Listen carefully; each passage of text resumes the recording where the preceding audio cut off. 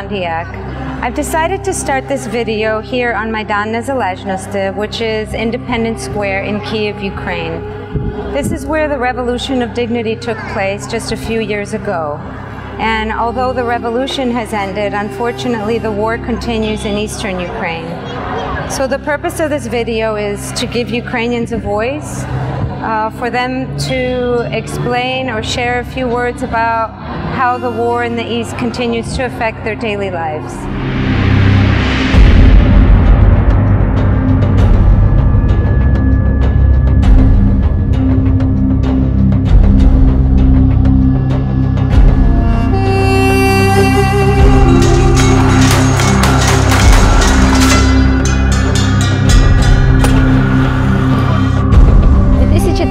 У році я приїхала сюди з України, а в 2014-му почалися криваві події на Майдані.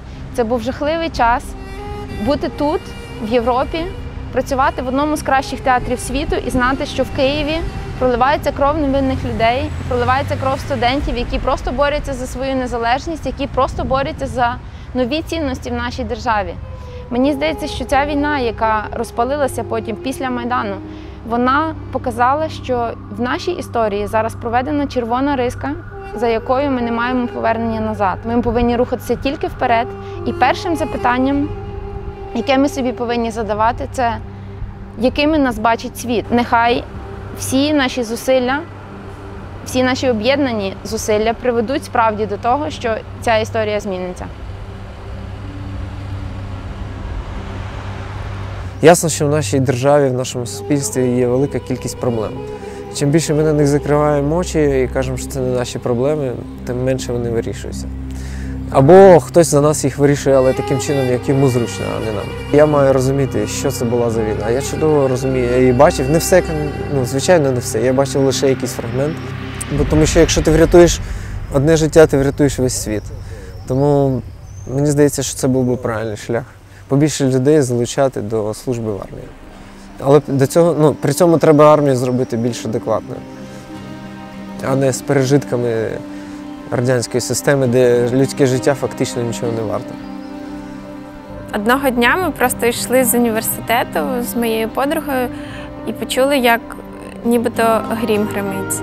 Бачили, що декілька е, машин з людьми з автоматами виїжджають з нашого двору. Потім декілька днів ми не виходили з дому, тому що все бомбили, і тільки в інтернеті ми читали, власне, що відбувається, і ми не могли повірити, тому що ці вибухи вони були настільки незвичними і жахливими, що кожен раз, коли ти виходив зі своєї кімнати, тобі здавалось, що може обвалитись весь дім. Нас відправили на два тижні. Ми сподівалися перечекати, але коли повернулись додому наприкінці червня, три роки назад, виявилося, що ми не перечекали, а навпаки, тоді звільнили Слов'янськ і Краматорськ, і конфлікт тільки сильніше розгорівся. 2014, uh, after Crimea already was uh, annexed, and we cannot do a public event because there is a, there are tanks in the city. There are some army people with uh, Kalashnikovs in the city. So the team, we decided the team of 10 people uh, took a train and uh, went to Kiev to meet me to decide, I was in Kiev, to decide what we are going to do in the city which face coming war. What the cultural institution could do in this moment.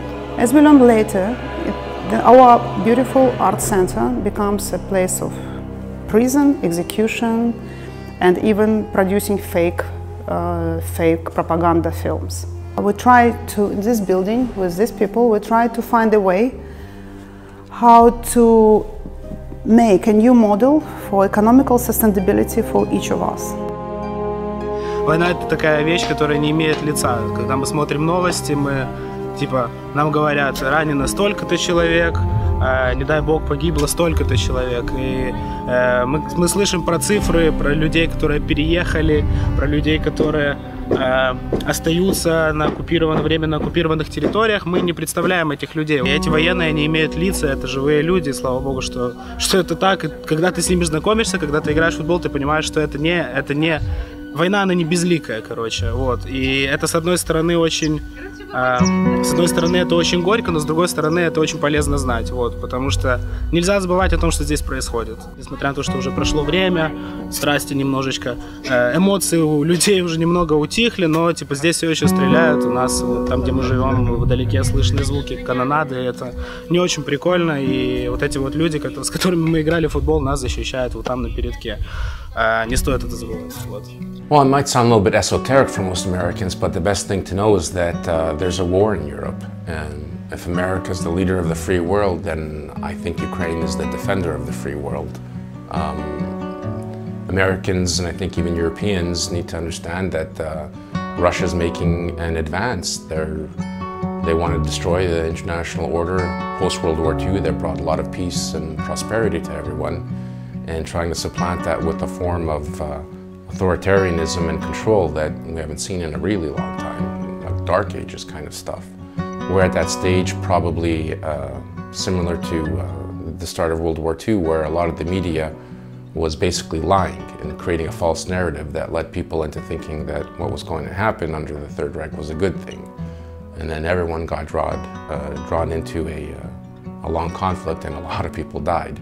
Uh, Ukraine is an underdog. Ukraine was uh, occupied for a real long time. Um, now there's a small group of oligarchs in control, and uh, you know it's always been the American, um, the American character to support the underdog. Війна принесла багато негативу, але також багато позитиву. Негатив в тому, що ми постійно живемо під відчуттям того, що поруч нас страждання що країна міняється, що навколо нас багато смертей, що багато дітей тратять своїх батьків, мам тратять своїх дітей. Але разом з тим позитив в тому, що е, ментальність людська почала змінюватися в країні. Люди почали розуміти, хто вони є. Російська мова більше не є бар'єром. Схід-захід більше не є бар'єром для того, щоб люди розуміли одне одного. Коли я повернувся з Майдану, е, перше запитання, яке мені родичі задали, сказали, а ти заповіт написав.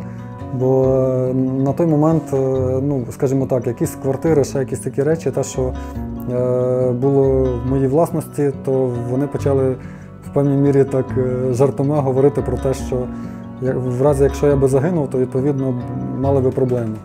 Ну, сама травма, нічого особливого. Там просто вже коли почалося протистояння, то ми ж від шеренги цієї міліції стояли десь 5, 5 метрів. І в першу чергу, коли почалось протистояння, то полетіли ці різні гранати. В той момент е, ці люди, з якими я був, то ми навіть не мали з собою щитів. Ну так вийшло, що ми просто там ротація.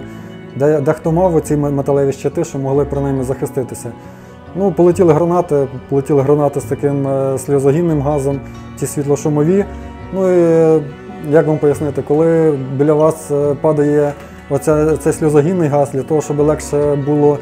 Е, його перенести, то зазвичай ти просто присідаєш, щоб ця хмара оцього їдкого газу піднялася вгору. І коли ти присідаєш, а біля тебе падає інша граната, то ясно, що ти в першу чергу е, намагаєшся це все відкинути і, і так далі.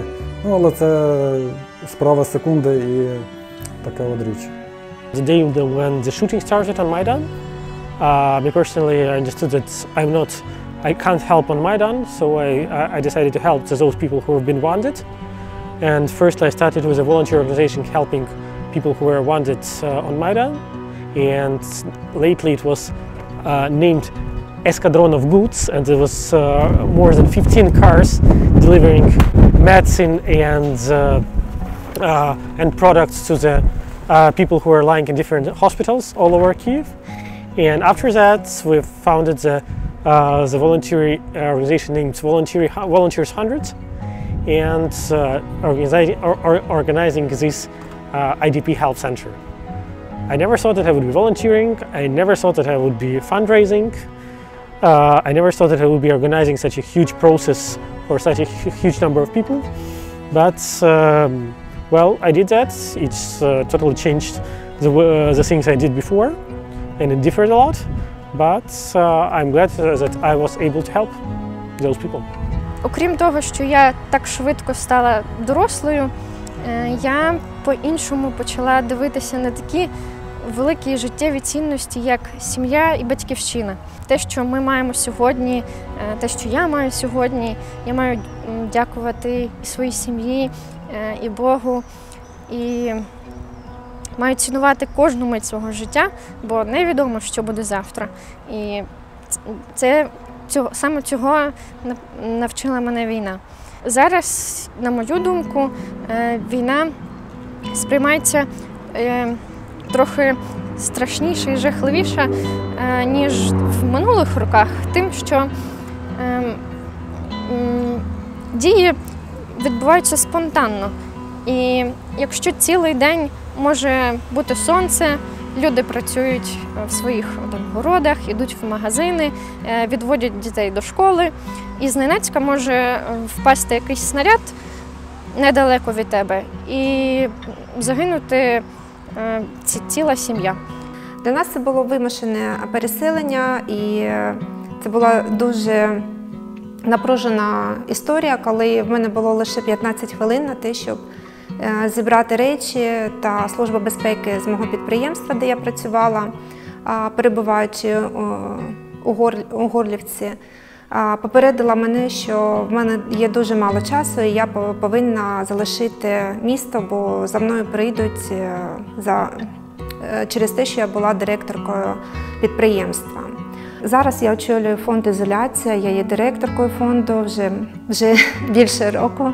І для мене це є великою честю, бо мені довірили такий дуже великий е, проєкт. І е, в мене є дуже гарна команда, і в нас є надія та віра, що саме завдяки культурній дипломатії та завдяки тому, що є люди, які вірять, що можна змінювати ситуацію шляхом переговорів, шляхом культурних ініціатив, ми ще маємо надію змінити ситуацію в Україні на краще. Я дуже вдячний американському народу, оскільки е, дуже велика фінансова підтримка йде і підтримка саме громадського сектору. І в нас всі знають про USAID, е, яка е, насправді дуже сильно нам допомагає. І нам потрібно розуміти, що ми не тільки і не стільки тут боремося з російською агресією за себе і за свою державу, як боремось е, за весь демократичний світ і за демократію. Просто ми зараз стоїмо е, форпостом цієї оборони, але ми повинні бути разом з вами. І наш слоган нашої організації це разом сила. І тому я думаю, що якщо ми будемо разом е, триматися далі, то ми обов'язково переможемо, оскільки ми будемо тоді приречені на перемогу. Дякую. Майдан е, він дав певний поштовх, дуже сильний імпульс, і він вивільнив оцю е, таку творчу енергію людей, які почали об'єднуватися в різні е, організації, робити проекти, створювати якісь ініціативні платформи. І це один дуже великий плюс. Інший, якщо сказати, що, що не доробив Майдан, то він не сформулював, не сформулював текст, тексту, немає маніфесту, немає. Е, є багато гасел, є багато теорій, є багато поглядів, уявлень, так, якби е, різних напрямків, так, бачень, візій, опіній, але немає такого спільного е, якби, тексту, який. Е, був би виголошений майданом чи сформульований ним як, е, як скажімо так, як особою. Персонально для мене, напевно, все перейшло русло від е, такої дуже сильної емоційності реакції. До того, що я усвідомила, що потрібно більше робити для того, щоб ця ситуація змінилась. І, зокрема, для мене цікаво це робити в сфері культури.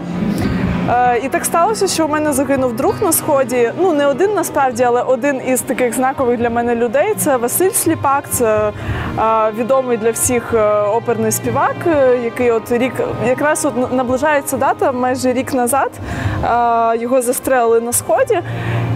І це була така річ, яка дуже сильно знову включила, і я аж дратувалася на себе, тому що я знову почала ну, прокручувати всі події, емоції, знову дуже сильно включилась. От, але я вважаю, що для людей, які можуть щось робити, вміють щось робити, потрібно трошки холодної голови, напевно. А, тому що тільки в такому стані ти можеш створювати щось насправді ефективне, щоб цю ситуацію змінило. Ми їздимо в підрозділи І одна історія була це та, коли 13 числа 15-го року бомбили по блокпост на Волновасі, коло Волновахи.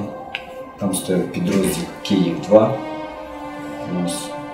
Ну, там загинули люди, загинули люди, з, е, які знаходились в автобусі. Загинули люди в автобусі, це 10 чоловік, і двоє потім загинули вже в шпиталі. До одної дівчинки дуже довго їхав нейрохірург з Маріуполя, і там такий в руках дядько загинув, було поранення там, живота і грудей, ну, було доволі багато поранень. Я вважаю, що торкається кожного. Бо, по-перше, це війна йде, це і проходить не десь за межами країни. Вона йде, проходить саме тут, у цій країні. І війна йде саме за цю країну вона йде. У нас вже відчіпнули частину, вже нема Криму. Ми можемо втратити Донбас. Ці жертви, які ми там втрачаємо, то це, це наші люди, це, це наші родичі, наші знайомі. Я не знаю, що ще можна сказати по цьому поводу. Ну, війна це жахливо. Жахливо те, що вона три, вже третій рік йде. Жахливо, що не видно кінця. Я, я не бачу, як вона мусить закінчитись. Ну, я вважаю, я е, людина цивільна, не військовий, тому я вважаю, що війна у війні перемогти можна тільки одним засобом. Ворог має бути знищений. Іншої перемоги у війні, мені здається, що не, не існує. Все. На самом деле жизнь мою изменила не война, жизнь изменил Майдан. Это была та точка, за которой э, большинство людей поняли, что они могут действительно в этой стране что-то изменить. То, что происходило потом с началом военных действий, было просто логичным продолжением. Ты участвуешь в жизни страны, участвуешь на том уровне, на котором ты можешь. Кто-то занялся обеспечением фронта, кто-то занялся первыми ранеными, кто-то занялся переселенцами. Просто приходили люди, которые говорили, я вам помогу. И приходили люди, которые говорили, мне нужно помочь. Э, В 2014 году очередь из тех, кто готов был чем-то поделиться и помочь, ну, практически равнялась очереди тех, кому нужна была помощь. Когда приезжают люди в тапочках с ребенком под мышкой, с паспортом в кармане, ничего, они не знают, куда им идти, они приехали прямо с поезда или приехали машиной. И если не изменится страна системно, то все, что мы делаем, будет зря. Можно было тянуть это все на своих плечах год, два, даже три.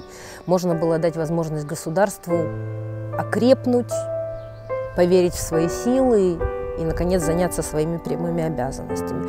За это время, к сожалению, государство, хотя и окрепло, но изменениям пока очень сильно противостоит.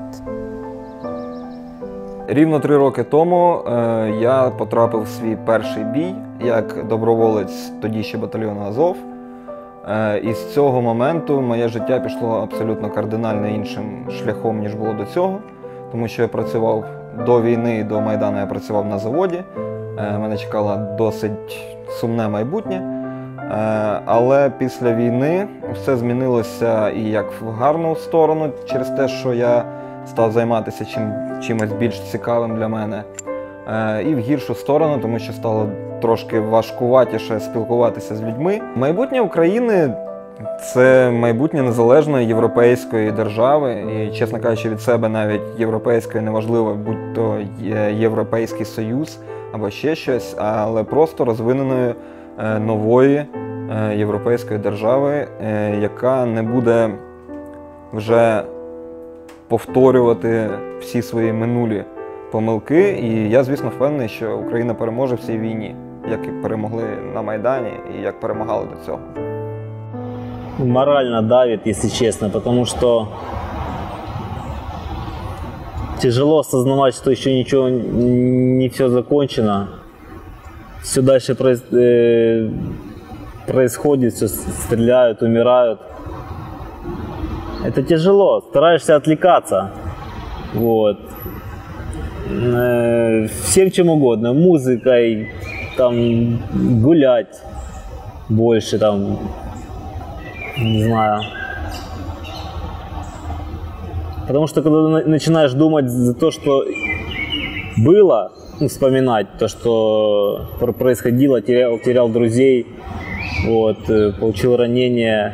То, что происходит сейчас, ну, то, что пр- продолжает происходить, это, конечно, неприятно. Плюс осознавать, э, что в стране творится, и ну, это тяжело на самом деле. А пытаешься отвлекаться, потому что если начинаешь думать, э, начинает быть депрессия нападать. И можно запуститься, короче, и сгнить в таком состоянии. Вот, поэтому отвлекаюсь. Війна забирає, по крайній мірі, що для мене війна, це тоді, коли немає вибору. Є просто речі, які е, внутрішньо відчуваєш, що потрібно робити. І це така боротьба з внутрішньою з гідністю, з совістю, ще якісь такі речі. От, але по суті вона дуже звужує світ і робить його маленьким, простим водночас е, і жорстоким. Для мене війна не завершена, я продовжую воювати, але вже воюю тут. Е, без зброї, але е, за суспільство, в якому я хочу жити, в якому я мрію жити. Для мене стосунки з людьми зараз є набагато більш ризикованішими, я би так сказав, тому що знову ж таки вікно моєї толерантності є менше. Я вважаю щиро, що Росія готується до повномасштабної війни, і це теж страшно, тому що я не хотів би, щоб це тут було. Живіше люди, які є продуктом Совєтського Союзу, і вони будуть голосувати далі за, за, за популізм. І мені, як молодій людині, яка хоче жити в тій, в тій державі, е, страшно. Тому що якщо ми говоримо про демократію, то треба якось вчитися приймати вибір більшості. Я дуже хотів би подивитися світ, так? Тобто, але саме отак поїхати, подивитися і забрати краще сюди. Я бачу своє майбутнє в Україні.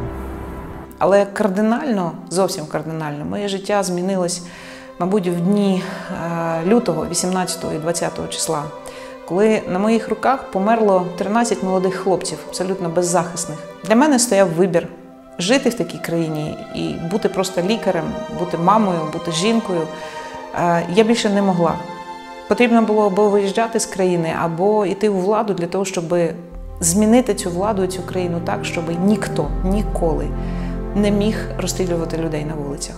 Після того, як е, у нас почалась революція гідності, Росія скористалась слабістю України, відсутністю армії, корупцією, окупувала Крим, вела свої війська на схід нашої країни. І от зараз, коли я подорожую по світу, вже мало хто згадує про те, що в Україні йде війна. А війна у нас йде кожного дня. Крим окупований, наші хлопці гинуть щодня, отримуємо поранення. І дуже важливо нам вистояти, тому що сьогодні Україна тримає фронт. Фронт, який має продемонструвати всьому світу, що навіть такі потужні країни, як Росія, і навіть такий потужний президент, як Путін, не мають права міняти а, такий геополітичний макро, макроустрій в світі. У різних країн є різні природні ресурси. У когось є нафта, у когось є золото у когось є чорнозем. А України, у нашої країни, України, є абсолютно унікальний ресурс, який ще не повністю використаний. Це українські жінки. Жінки талановиті, обдаровані, неймовірні, творчі.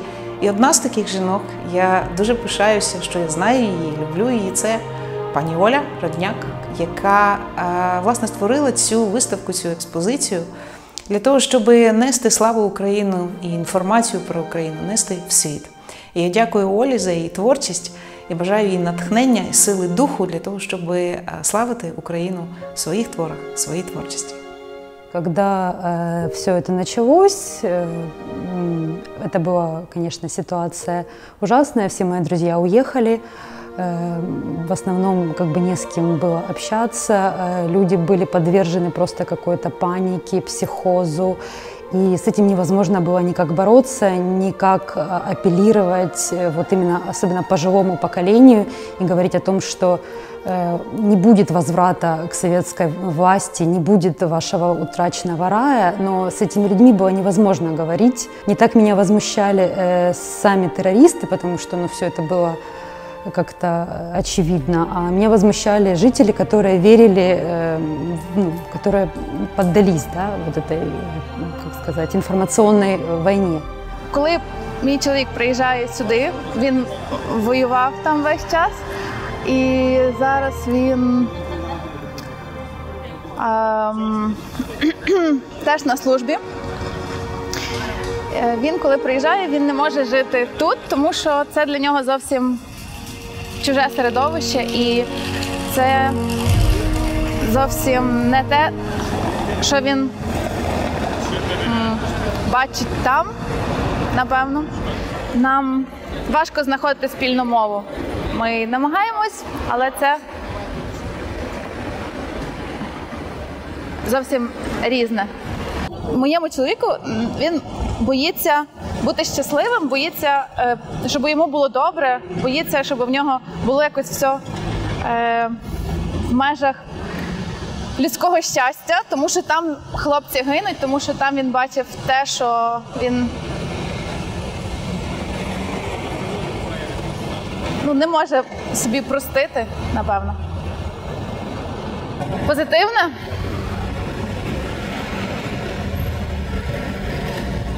Ну, я подорослішала. Я зрозуміла, що бувають вороги. Я цього не знала. Але чи це позитивне? позивний мій цибуля. Е, впливає та воюємо, як воно може впливати. Війна то і є моє життя, вона, вона не впливає на даний момент. В 14-му я відчував реальну загрозу своїй сім'ї і, і, всім довкола. Тобто тоді, бу- тоді ще йшли торги за, за кілометри території, да, якісь, і хлопці своєю кров'ю своїми трупами трошки зсували лінію договорняка. А зараз це чисто під, підтримання цих політичних якихось вихід війни, тримання народу в покорі, бо війна, пі- пі- піднімання податків, бо війна, все класично. Читайте Джорджа Орола. Майбутнє повністю залежить від людей. Якщо люди захочуть щось міняти в собі, вони зрештою змінять країну і змінять суспільство. Якщо не захочуть, будуть закривати очі на свої, в першу чергу, нехороші вчинки, а потім і на інших, то так і будемо жити в лайні, навіть незважаючи на слава Україні, пропорції 10 тисяч загинувших. Ну, війна має значення, бо батьки ще мешкають в Маріуполі, і під час найбільш активних дій я, звісно, дуже часто чула.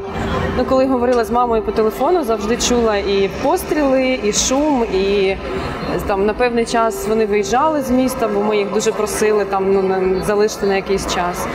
І досі, коли хтось каже, що війни немає, я ну в це не дуже вірю, бо я точно знаю, що вона є. І батьківщина мого тата наразі на окупованій території, і тоді туди досить важко і поїхати. І ми з, з певними родичами ми підтримуємо зв'язок і запитуємо, як там і що там. Не дуже оптимістичні люди. Ну чесно, я не- знаю як.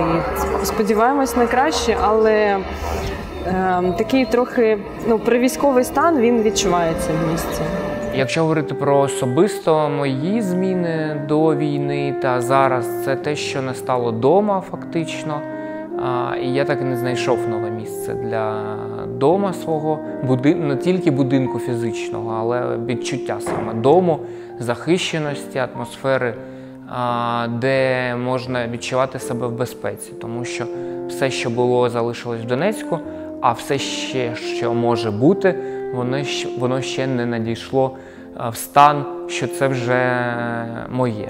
І тому це головне відчуття, з яким я вже живу три роки, наприклад. Ну, це особисте, особистий погляд на те, що відбувається. Але я про це можу говорити публічно, тому що так само живуть ще декілька мільйонів людей, які зараз знаходяться пошуках нового місця свого перебування не тільки в фізичному сенсі, а в першу чергу в психоемоційному сенсі, тому що ми всі втратили наше традиційне середовище існування.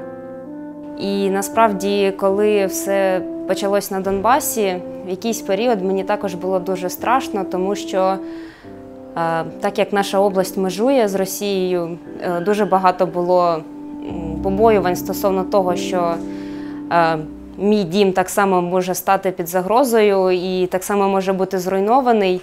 Мені ну, насправді було теж дуже страшно. Ті самі там слава Україні, героям слава. Ну, у нас на Сумщині ніколи цього не звучало. І е, часто мені так само дико чути е, від західноукраїнських громадян, е, ну, хто там на Західній Україні живе, що е, вони там не хочуть заходити в церкву Московського патріархату там, чи ще щось. Хоча вони не розуміють того, що на східній Україні у людей просто немає альтернативи. Тому в певній мірі мені ну, дуже образливо це чути. Мені дуже боляче і обурливо, і так само моїм друзям, що е, цього не визнають. Е, практично, що йде війна, не визнають, що гинуть. І в нас так само кажуть, Росія не визнає. То в нас фактично так само це, це йде 80% країни валює, танцює, розважається, їздить на курорти. А якихось 10% країни доживається, можливо, не 10, можливо, менше. Тих олігархів наживається на тій війні. Вони спекулюють нею. Значить, е, я не знаю навіть, яка частина засобів інформації чесно висвітлює ті всі події, а яка просто яка також на тому заробляють гроші. should we stay or should we go? Then I began to be a citizen journalist, political journalist, and I did a lot of um, materials from Crimea, and I saw how it was when Russia invaded Ukraine, and I have. Um, I had an experience with uh, searching for my friends. So uh, that was there was um, they were kidnapped on the border of Peninsula and Ukraine and I had, have a lot of stories about it and I saw by myself how it was and I know that this um, war is really something not real. It's by uh, big political guys and not Ukrainian guys. I think not even, it's just made by, by Russia and I'm sure that the war is, um, mm, was prepared long time ago. Everyone feel that it's maybe last day of, of our life. Maybe that's why we are like really active now. I feel that the knowledge is our um, antidote for the, from the war. And we just need to understand what happens. We just uh, have to take this weapon, our knowledge, and uh, to protect our country and uh, ourselves. Коли росіяни зайшли в Крим, у нас був великий переляк, тому що ми знали, що таке, коли приходять росіяни. Ми знали це з розповіді, з розповіді своїх бабців, дідусів. Я почав думати, в мене троє дітей, я почав думати про те, що робити, як їх рятувати, що якщо почнеться якась авіаційна атака. І я думав про те, щоб вивезти кудись дітей за кордон. Україна має е, чи не вперше в історії великий шанс. Великий шанс відмежуватися від цього е, злого сусіда, який переслідує нас віками. Ми живемо біля е, дуже небезпечного, небезпечної країни, яка а, розвивається тільки за рахунок когось іншого. Вся, вся територія нашого північного сусіда це загарбані території.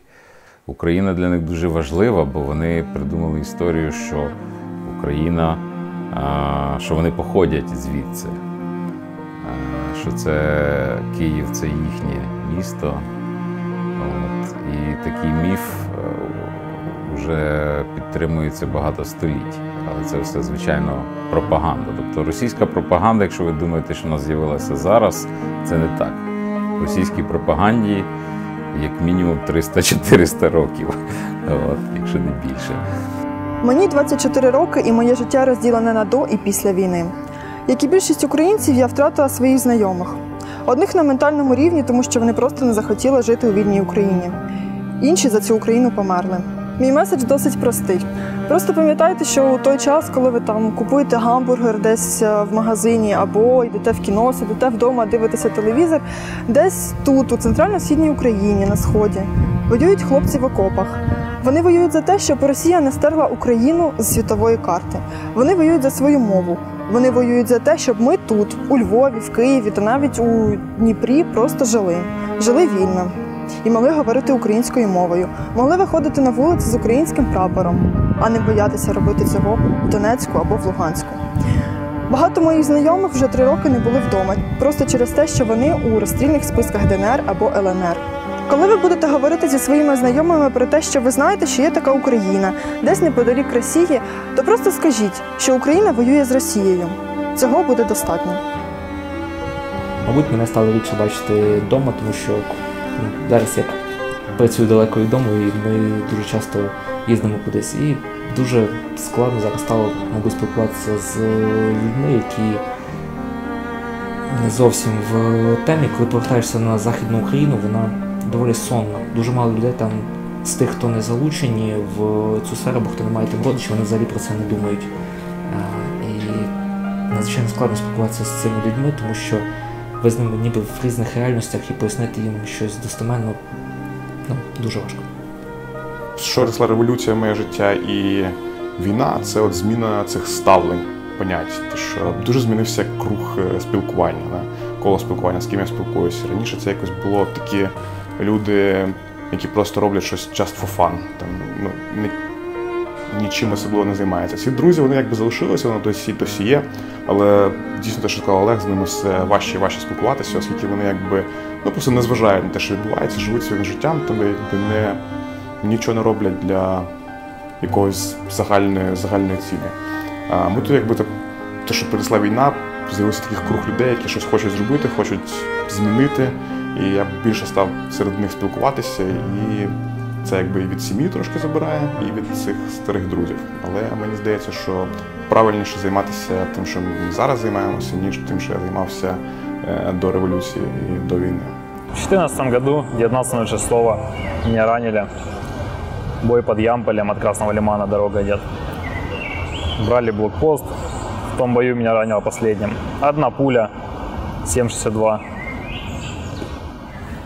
Залетела сбоку, справа ранее зацепила легкая, позвоночник это основное, и селезенку повредила, ее удалили. Начал относиться к жизни по-другому, начал больше ценить моменты, радоваться больше, наслаждаться жизнью больше, какими-то мелочами. Пример такой с реанимацией есть, с чаем. Я мечтал о чае. У меня зонт стоял через нос. Я не мог попить чая, банального чая. Ты лежишь и думаешь, как бы мне сейчас выпить горячего чая. И так с каждым моментом. Я ничего не мог делать в определенный момент. Потом заново, заново учился жить. Вот так вот. Е, Раніше допомагала ну, з 14 року просто як волонтер. Зараз більш як я кажу, бліндажна окопна, ну така, така я є. Не, незаслужено, все-таки звичайний, звичайний свій товариш, друг, сподіваюся, для е, багатьох е, військових. У мене дуже багато там товаришів, друзів, братиків, як я називаю, сестричок, от, е, за яких болить душа, за яких хвилююся, яких чекаю живими, здоровими і з перемогою. Почалась війна, і ну, якщо можна сказати так, інколи мені говорять, що е, раніше я не писала пісні про Україну, зараз в мене їх багато. Е, так, мені раніше не боліло, е, так як мені болить зараз, тому тексти зараз переважно про війну, про Україну, про тих, за кого болить душа, за кого хвилююся. Е, пісні для тих, кого хочу підтримати, наскільки, наскільки я можу це зробити. Життя в Мюнхені і громада Мюнхена об'єдналась після подій на Майдані задля допомоги фронту, задля допомоги пораненим е, бійцям. Жінки, які проживають у Мюнхені, теж долучилися до допомоги дітям АТО, дітям героїв АТО. Е, зараз дуже багато проєктів. е, задля відновлення і реабілітації, психологічної реабілітації дітей, е, які перебували в сірій зоні, в зоні АТО. І е,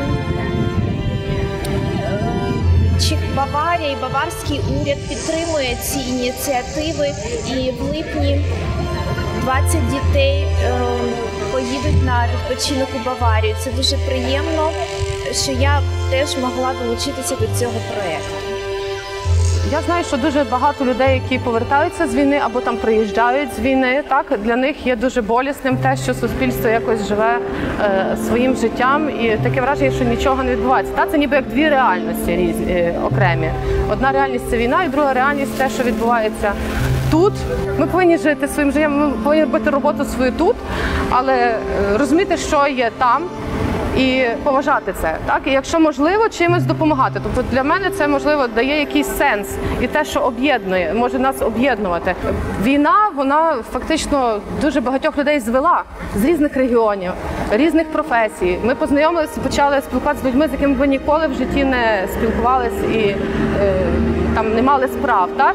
І оце почуття такої єдності, солідарності та поваги свого прапору, поваги до свого гімна, який е, має сенс вже тепер. Так? Коли ти там співаєш, ти бачиш цей прапор, він, е, вибачте, кров'ю зрошений реально живих теперішніх людей. Ти можеш їх знати, цих людей, та? які е, постраждали. Ці сім... ну, цей трагізм він дає і таку дуже життєствердний. Таку енергію нашому суспільству. Ну я не скажу всьому, але принаймні тим людям, які для яких це потрібно. Коли ми отримали свободу в 91-му році, люди не, не були готові до того, що свобода це відповідальність. І, власне, всіх влаштовувала та корупційна система пострадянська, яка існувала весь цей час, бо було легко не брати на себе відповідальність. Майдан це в 13-14 року це був момент, коли е, ми все ж таки е, спитали, хто ми є. 18 лютого 2014 року я став свідком е, вбивства людини на Великій Житомирській. Це був навіть не Майдан, це біля Майдану. Вулиця, тоді тітушки просто розстрілювали людей. Я пішов, поїхав в Крим для того, щоб теж зрозуміти для себе, що відбувається, бо в той момент в Криму було мало українських журналістів. Це зрозуміло, бо там були російські війська, там були проросійські м, активісти, важко назвати їх. Там були сепаратисти, котрі вже тоді починали бити людей, вже тоді починали красти людей. Далі був Донбас. Я поїхав в Луганськ. Коли я туди потрапив, я побачив е, людей, котрі спілкуються українською мовою між собою в селах, цілі села україномовні, абсолютно україномовні, тобто не суржик, а саме українська мова чиста. Це е, бабусі, до котрих ти заходиш в хату, і в них оберіги висять, в них е, рушники висять, вишиті. І вони пам'ятають саме ту Україну. І вони говорять, яка Росія? Ви про що? Тут кров українська в цій землі. І е, спілкувавшись з нашими солдатами, котрі насправді так само різних націй. У нас мультинаціональна і така дуже велика, але й е, дружня країна. І всі стоять саме за Україну там. Повія вітер степовий,